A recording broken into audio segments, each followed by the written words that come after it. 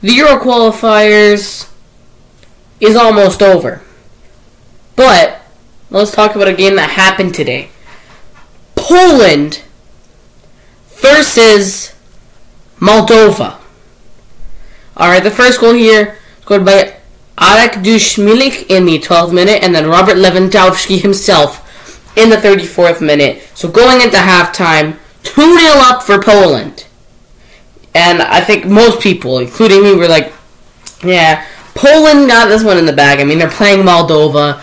There's no way that they're going to see concede three goals by Ion Nicolaescu in the 48th and 79th, and Vidlas Bahudlo in the 85th minute for Moldova to win.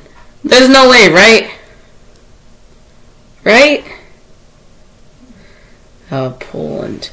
For the stats, 20 shots to 9 in favor of the Poles, so it's not like they completely sucked. 5 shots on target at 4 for the Poles. 73% possession to 27 in favor of Poland. 617 passes, 232 in favor of Poland. 85% pass accuracy, 62% favor of Poland. 25 fouls at 10 with Moldova having 15 more fouls than Poland. 4 yellow cards for Moldova, out of them 0 4. Poland, no red cards, of course. One offside, though, for Moldova. Two corners to nine in favor of Poland. So, what does this mean for the group?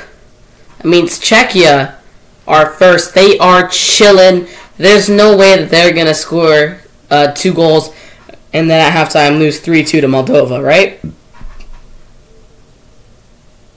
Albania's at second, just one point ahead of Moldova, who's in third, two points ahead of Poland, uh, who are fourth, and then Faroe Islands are only two points behind Poland.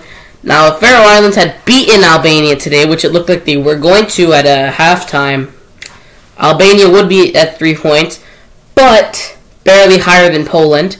And if Faroe Islands did win, of course, they'd be at four points, which would put them in third. This group would have been crazy.